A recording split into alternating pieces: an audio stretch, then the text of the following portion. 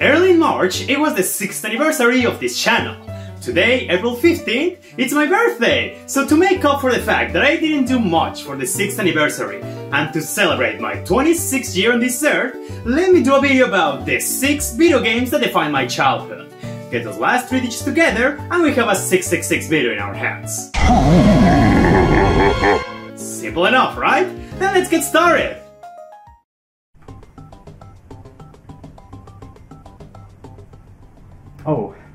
Hey everybody. Welcome to the first episode of the Game Shelf.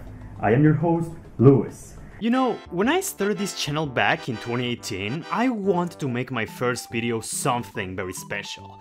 Talk about a game that means so much to me. And what better one than the one that got me into gaming? Super Mario World. I brought this game up a few times, calling it one of my favorite platformers of all time alongside Donkey Kong Country, Tropical Freeze, Celeste and Pizza Tower. But when I compare it to those games, it is definitely the least good of them. But the sentimental value it has and what it means to me is something that can't be replaced. I've gone on a record to call Super Mario World the first video game I ever played. For all I know, it could have also been Pac-Man 2, but that's besides the point. While I know many other millions of people can say the same, Mario was the character to show me the joys of gaming, and Super Mario World was the perfect game in my child's eyes. I love how it looked, the colors were also appealing, the character designs were so adorable to me, and the music was just so wacky, bouncy and iconic. And of course, the gameplay itself was more than excellent. Simple enough to comprehend, but challenging enough to keep me engaged. And on top of that, as a child, it was incredible to just figure things out. From moving to one world to the next, finding new secrets, discovering different colored Yoshis, and even learning how to use the wing cape. Every single aspect of this game was pure bliss to me, and it pushed me to want to try other titles. While I can say it's the greatest video game ever created, for me, it's the quintessential video game, because it was the one to get me into the medium I still love so much to this day. Whether that's a good or a bad thing, I'll let you... Nah, you know what? It was definitely a very good thing. Which is funny because, even though this game defined my childhood, it wasn't the first game I ever beat. Uh, so here's a fun story. Back in Mexico, I used to live in a different house in my early childhood, but when we moved to another house, we lost the SNES. My parents said that it was most likely stolen by the mover guys, but as far as I know, they might as well sold it too. Sometime later, my brother got a pirated Xbox, which could emulate so many games from different consoles. NES, SNES, Sega Genesis, Nintendo 64, and many more. You ever heard the term Play dos chipeada? It's the exact same thing just on the Xbox. However, he wouldn't let me touch the console myself, so whenever he wasn't in the house, I would use it without his permission, play Super Mario World until eventually, I beat the game on my own. Whenever I hear the term video game, this is the one that comes to mind first.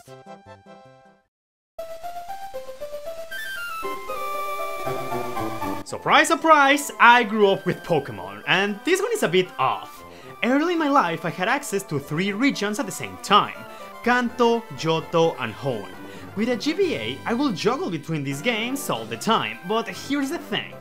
As a kid, I was never able to beat them. Kanto because I didn't know any English, so how the hell was I supposed to know you have to give lemonade to a security guard just to proceed? Hoenn because I could never beat the Elite Four, and Johto because the battery of my cartridge was dead, so it will never save my data. Regardless of that, Pokemon became a staple in my earlier years, from watching the anime, asking my parents to get me toys, and even playing the spin-offs. This franchise was a wellspring of happiness to me. If I am very critical to its current state nowadays, it's because I really care, you know? I want to see it do better. Not in numbers, because we know it's gonna sell very well regardless, but in quality. Still, going back to the topic at hand, even though I had so much exposure to Pokemon as soon as I have memory, if there's one particular generation I can say stands above them all, it's the second one. I already talked about this in a previous video, but let me tell you a bit about it once again. Johto is a region that has so many issues. Awkward pacing, Unbalanced Challenge, and many Johto Pokemon only being available in Kanto, with many of these issues even being carried over to the fantastic remakes. Yet, Pokemon Gold and Silver are irreplaceable to me, because as a kid, Adequacy was a magical game. It's hard to explain, but out of all the Pokemon regions, Johto has an atmosphere that remains unmatched to this day. From the aesthetics, the architecture, the designs of the monsters, and especially the music.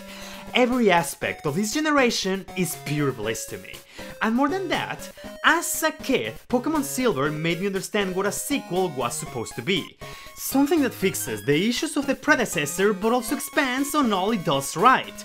And while Johto is far from perfect, you just can't ignore all the things and ideas it brought to the table. Oh yeah, and one more thing.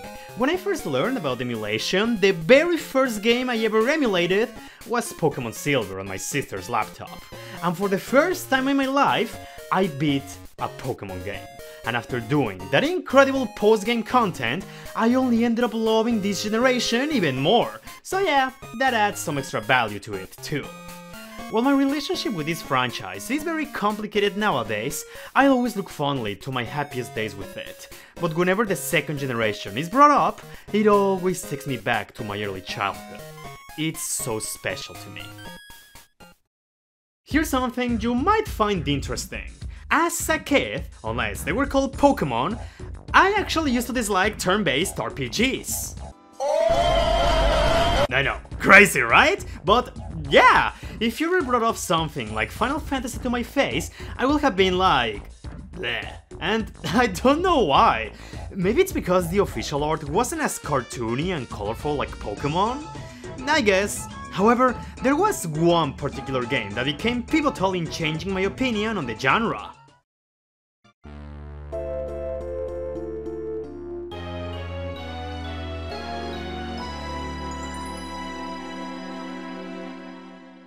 Absolutely yes! Paper Mario is one of those games that for me is perfect in every aspect. As a kid, I didn't care at all that it was a turn-based adventure. The combat was extremely easy to understand, but not brain-dead enough to be boring. And you know, at this point I already knew Mario for all the bling bling wahoo platforming adventures and all those kart, party and sports spin-offs. Paper Mario, however, was the one that truly blew me away at how different it was. I mean, it's still a Mario I know and love, but there was something more in here that I couldn't find anywhere else. From the gameplay, the story, and all those colorful characters you met in your adventure. I should also note that, at the time, this game took me years to beat, but that's because I didn't know any English back then. So that's when I learned about the existence of the internet and all those fancy guides you could find in there. It was mind-blowing to me at first because I spent so long stuck in the second chapter, so being able to actually make progress and seeing the world expand right in front of my eyes, it just... It made me so happy! From getting to the Boo Mansion, going to an island full of Yoshis, and even to a garden in the sky, I just couldn't believe how much better this game kept getting until eventually I reached the end of it. Honestly, throughout the years I have struggled to decide which one I like more, Paper Mario 64 or the Thousand Year Door. Sure, the latter has better combat, better characters, and a crazier and cooler story. But 64 has a better soundtrack, cuter art direction, a very unique charm, and of course, that childhood bias is near unbeatable to me. It may not be the most complex RPG out there, and it may be a bit too simple at times.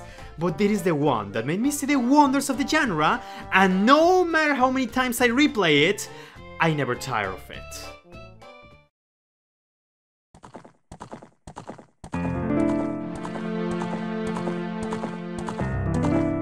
Zelda is one of those franchises that was love at first sight to me, which is ironic because I don't know how I came to know these games, I just know I've always been attracted to them. My story with these titles is a curious one. despite having Nintendo consoles as a kid, I never actually had access to Zelda games. I will usually watch cousins or friends play it and I was so blown away. It didn't matter if it was the 2D games like A Link to the Past or something like Ocarina of Time. I just knew that eventually when I played a Zelda game, it would be the best time of my life. And eventually I got one! The very first Zelda game that I played was Zelda 2 on the GBA. Yeah, that sure was a way to start with the Zelda series. I mean, I still liked it, make no mistake. Zelda 2 is good, but... Did you think I was gonna be able to beat it myself? Yeah, I never got past Death Mountain. As I grew older, I got access to the GameCube collection, and I was especially fascinated by Ocarina of Time and Majora's Mask. However, the latter's time limit was just too complex for me back then, and now it's one of my favorite games. Funny how that works out. And no Ocarina of Time, I definitely had an easier time with it, but I will often come across terrifying moments that will make me stop. The Kakariko Graveyard, the castle town being filled with ReDeads, or the forest temple, it was just too much for me at the time. Eventually, I had to give the collection back to my friend, but sometime later, I got a title that will go on to become my defining Zelda game.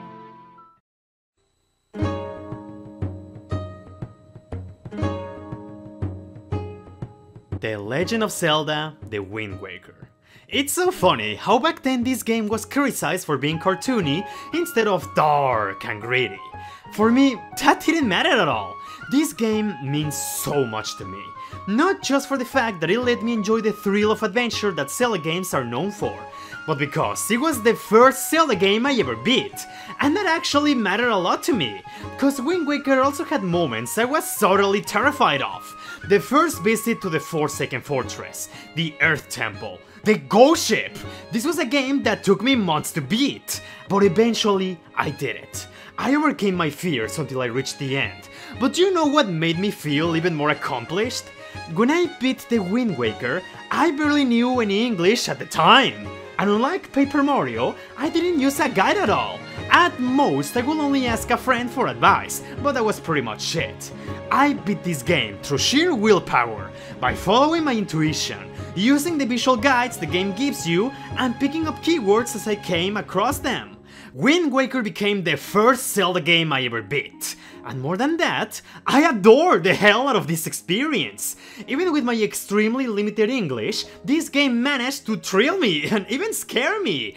It made me laugh, rage and even cry at times.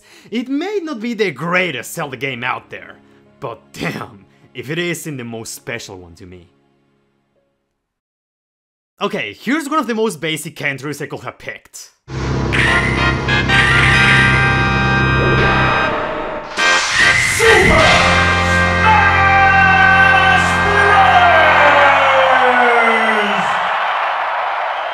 Grow up with Nintendo games, you naturally come to know certain franchises by default. Mario, Donkey Kong, Zelda, Pokemon, you get the idea. Smash Bros on the Nintendo 64 was insane to me because, yeah, those characters I like were there, but there's also a plethora of others I've never heard nor seen before. Captain Falcon, wow, this guy looks so cool! Ness, what the heck is an Earthbound? Samus, the awesome robot guy! Would you believe me if I tell you that I first came to know Kirby through Smash Bros? For my child brain, it was so unbelievable to know Nintendo had more properties besides the obvious ones. And honestly, that's all I can say. Sure, Smash 64 is really damn fun. I love playing it, especially with elementary school friends.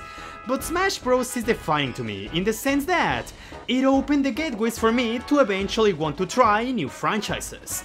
And not just 64, both Melee and Brawl play their roles too.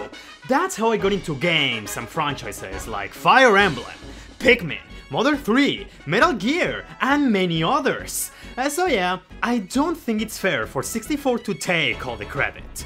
The first three games released before I turned 10, and I think they all deserve equal credit in making me play franchises that will change my life forever. And not just that, I feel that Brawl specifically was the game responsible for making me appreciate music as a whole. with so many remixes and different genres for different games. I genuinely believe that out of all the Smash Bros games, Brawl had the best new music of them all. While I've had some personal downs with this franchise and it's very far away from being my favorite, I just can't deny the good things it achieved, mainly getting me into new and amazing experiences. At the risk of sounding like a YouTuber from the early 2010s, here's something important that I want to share. Oh, hey, didn't see you there. You know, when Sonic went through the things got rough. Banjo-Kazooie is the childhood-defining game for me, and I'm serious. All the other games I talk about mean a lot to me, but if you were to ask me to just pick one, Banjo-Kazooie will be my first answer. For me, this is a game I can't say it's perfect. I genuinely see zero flaws in it. I adore the gameplay. Even with the Nintendo 64's horrible controller, it still feels very good to play. The level design, each and every single area was so distinct from one another, and all of them excel for different reasons. Yes, even levels like Clanker's Cavern or Rusty Bucket Bay. The music composed by the amazing Grant Kirkhope that gives each area a very unique identity. And just, just how goofy and whimsical everything is. Even if back then I didn't even know how to read, the visual humor was so charming to me that it made this game stand out above the rest. Even though it released in 1998, I don't think it has aged one bit. I can easily recommend it to any person who likes 3D platformers. I can pick it up and 100% it anytime and have so much fun without fail. I actually prefer this over Mario 64. Great game and it's definitely better for speedrunning. But Banjo-Kazooie is simply the better experience for me. I even adore the sequel Banjo-Tooie. Yeah, sure, it's way more complex, has more notable flaws, and it has a darker tone. But I still think it's a fantastic game, just for different reasons. Banjo and Kazooie are icons for me. The mere sight of them is enough to drive me into a frenzy like. Remember when they were announced in Smash Ultimate?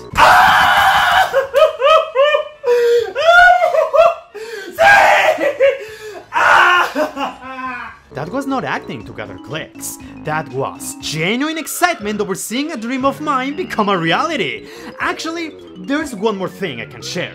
As some of you know, I recently moved from Mexico all the way to Canada.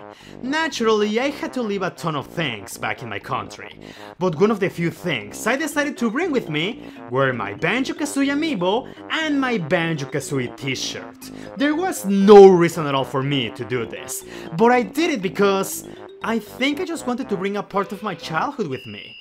That just goes to show how iconic these characters are for me. You know what's strange though? Even if Banjo-Kazooie never get a new game ever again, I will be fine with that because why force Microsoft to do it? Would you really trust your favorite characters to someone who clearly doesn't want to do anything with them? No, I mean, if they make a new game and it's actually amazing, sure, bring it on, I'll be the first one in line. But that's very unlikely to happen, and besides, I am more than glad with what we got already. Banjo-Kazooie and Banjo-Tooie are excellent games in my eyes, and I couldn't ask for anything more. They gave me some of the happiest days in my childhood, and whenever I look back at them nowadays, it's with a smile. And that's that. Actually, I could keep doing this all day. There's many more games out there that define my childhood. Like Sonic Adventure 2 or SpongeBob Battle for Bikini Bottom. That's actually a really good one. But I don't know. I guess these six that I just talked about were simply the most important ones to me. They define my childhood just that tiny bit more than the rest of them. But anyway, now I wanna know. Which video games define your childhood? They don't have to be the craziest out there or the most niche uh, that you have seen. As long as they matter, something important to you, that's what I really want to see in the comments. And yeah, what else can I say? Six years, thank you so much guys, I genuinely, genuinely appreciate it. You know that I really love what I do and when you guys enjoy that, that makes me much, much more happy. So yeah, uh, I, already talked about like about the 6th anniversary on a previous video, but I feel that it, it, doesn't hurt to to remind you that this really matters a lot to me and I really care about you guys too. So yeah, I guess I just wanted to say that. Have a wonderful day and take care, cause I'll see you next time.